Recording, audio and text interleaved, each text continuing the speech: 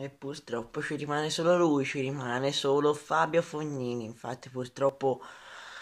eh, Andreas Seppi, Paolo Lorenzi e Lorenzo Sonego sono stati eliminati al secondo turno degli US Open eh, per mano. Sonego, una sconfitta che ci stava, penso che abbia fatto il possibile 7-5, 6-3, 6-3, comunque far lottare il primo set e non sfigurare nel secondo e il terzo contro un avversario in ascesa, in grande forma come Karen Kacianov che ha fatto semifinale 1000 eh, due settimane fa a, a, Cincinnati, direi che eh, sì, a, a Toronto l'ha fatta la semifinale 1000 tre settimane fa, direi che comunque Lorenzo Sonico abbia fatto il possibile, forse ha pagato anche un po' eh, la stanchezza ehm, della partita contro Gilles Müller. È comunque un, un Kashanov molto molto cinico sulle occasioni che gli sono capitate.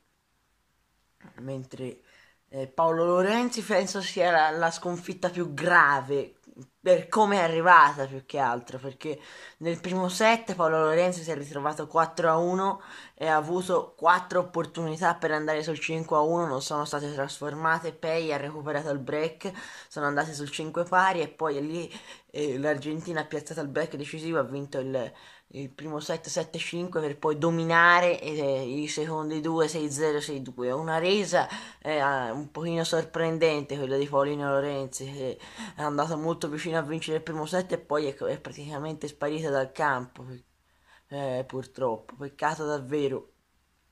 per Paolo Lorenzi che comunque il suo, il suo US Open resta pienamente sufficiente grazie alla vittoria contro Edmund che già era piuttosto inaspettata Rascia Santo Rammarico invece la sconfitta di Andreas Seppi che ha fatto partita pari contro Denis Shapovalov portandolo al quinto set. Ha perso purtroppo il primo set dove era avanti di un break. Ehm, infatti nell'intervista si è rimproverato molto anche lui.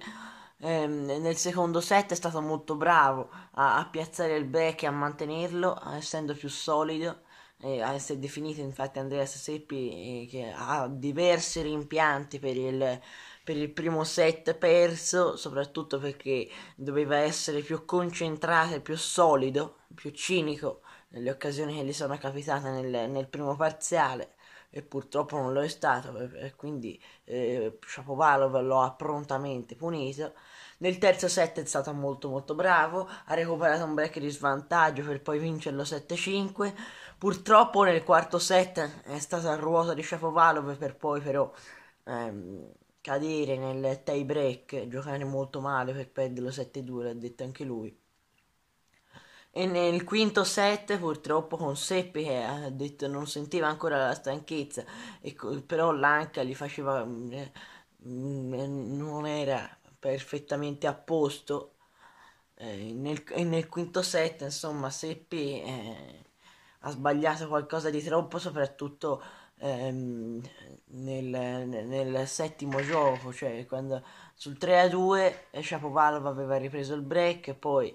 eh, Seppi l'aveva subito controbreccata, però mh, mm, ha detto che mh, mm, doveva assolutamente eh, andare avanti 4 a 3, però purtroppo eh, eh, non metteva una prima praticamente da destra e non è riuscito.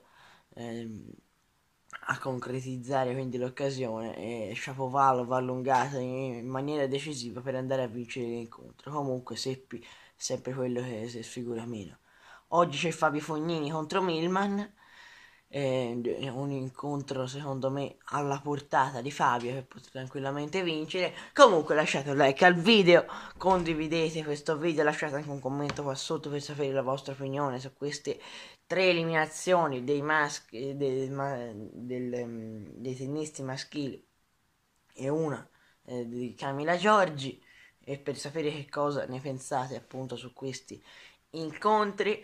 eh, vi invito anche a lasciare un mi piace vi invito a iscrivervi al canale se ancora non l'avete fatto arrivederci dai ci vediamo nel prossimo video. Arrivederci